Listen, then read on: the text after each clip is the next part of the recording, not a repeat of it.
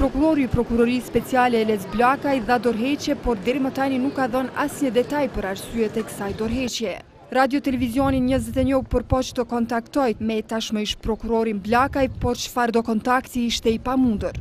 Tash për tash dihet se një ditë para shpalljes së aktgjykimit të imamit Shefqet Krasniqi që akuzohej për vepra që lidhen me terrorizëm, se Elez Blakaj kishte denoncuar në policinë e Kosovës se nga një Kosovar nga Vitia që jeton në Francë, kishte pranuar mesazhin dënoji kriminelët, mos i dëno hoxhallarët. Policia i kishte ofruar mbrojtje prokurorit Blakaj, por ky kishte refuzuar. Policia ia ka bartur fëmijët prokurorit deri në shkollë qerdhe dhe anasjelltas, thuhet në raportin zyrtar të policisë. Edhe kryeprokurori i shtetit Aleksandër Lumezi konfirmoi se prokurori Blakaj kishte marrë këtë mesazh kërcënues. Kryeprokurori Lumezi specifikoi se zyrtarisht asnjëherë nuk është informuar me shkrim nga prokurori Blakaj se ka pasur ndonjë kërcënim në lidhje me punën e tij. Zyrtarisht, deri më sot ne kemi pranuar vetëm dorëheqjen e tij, të cilën e ka drejtuar tek kryeprokurori i Prokurorisë Speciale Reshat Millaku.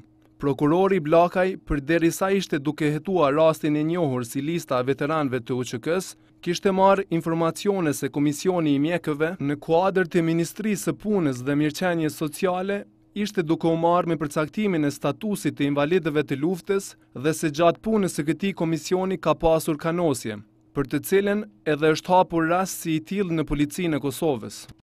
Edhe organizatat që monitorojnë sistemin e drejtësisë i quajnë të papranueshme rrethanat që çuan në dorëheqjen e prokurorit Blakaj. Kjo është një mesazh jashtëzakonisht i dëmshëm qoftë për prokurorë, qoftë për policë, qoftë për gjyqtarë të ndershëm të cilët dëshirojnë të ushtrojnë kompetencat e përgjegjësitë e tyre në bazë të ligjit dhe të cilëve si duket iu mungon siguria, iu mungon mbrojtja për të kryer punën e tyre në bazë të ligjit. Gjatë ditës në media u raportua se Elez Blakaj mund të ketë qenë i kërcënuar edhe për shkak se po hetonte manipulimet me lista të veteranëve të UÇK-së. Në disa media u njoftua se Elez Blakaj kishte ngritur aktakuzë për këto manipulime edhe ndaj disa drejtuesve të lartë të ish-ushtrisë çlirimtare të Kosovës. Mirëpo kryeprokurori i Prokurorisë Speciale Reshat Millaku mohoi se ka pasur aktakuzë të ngritur, duke thënë se e tëra kjo ishte në fazën e hetimeve.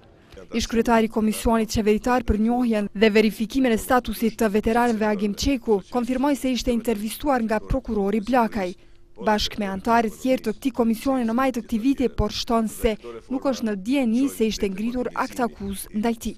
Presidenti i Kosovës Hashim Thaçi dënoi kërcënimet ndaj prokurorit të Prokurorisë Speciale Elez Blakaj në ushtrimin e funksionit të tij. Sundimi i së drejtës është themeli i një shteti dhe shoqërie demokratike dhe një ndër hallkat më të rëndësishme në forcimin e perspektivës evropiane të vendit tonë. I mbështes fuqishëm institucionet tona të drejtësisë në punën e tyre të palodhshme për forcimin e sistemit të drejtësisë që është funksional, transparent, llogaridhënës dhe që gëzon besim të plotë nga të gjithë qytetarët e vendit. Reagoi edhe ambasadori i SHBA-së në Kosovë, Greg Delawie.